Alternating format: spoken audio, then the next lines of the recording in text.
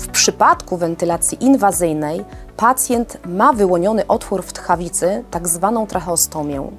Wówczas respirator połączony jest do przetoki w tchawicy za pomocą rurki tracheostomijnej. Jeśli pacjent ma wyłonioną tracheostomię i nie wymaga dalszego pobytu w szpitalu oraz kwalifikuje się zgodnie z obowiązującymi wytycznymi do programu, może zostać objęty opieką długoterminową dla pacjentów wentylowanych mechanicznie w warunkach domowych.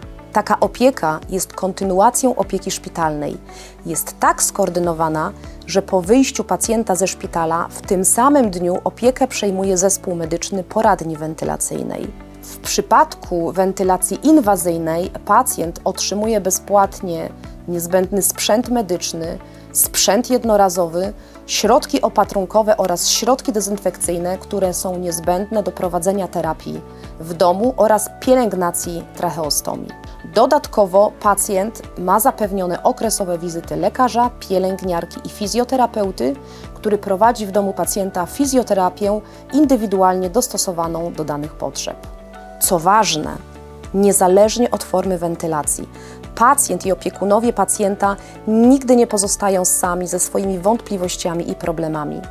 Mają zapewniony stały kontakt do zespołu medycznego w postaci koordynatora poradni, lekarza, pielęgniarki oraz fizjoterapeuty, z którymi na bieżąco mogą się komunikować i konsultować.